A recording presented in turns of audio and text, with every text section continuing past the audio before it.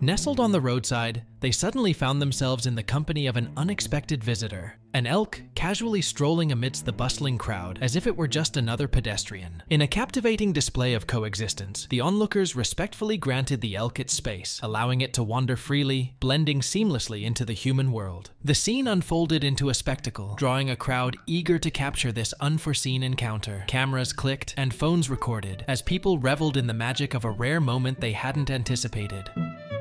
Hit subscribe for a front row seat to awesome content. Your passport to excitement awaits.